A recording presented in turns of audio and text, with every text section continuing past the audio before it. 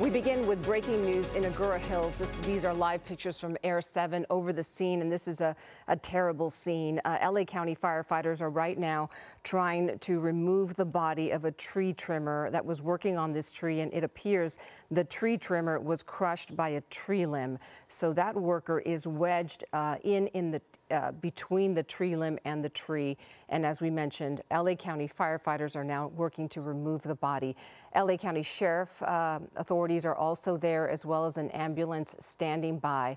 Again, uh, a terrible scene. Um, and uh, you can see everyone is just uh, waiting for this work to happen. It could take some time for them to complete this work. We will continue uh, to follow this developing story.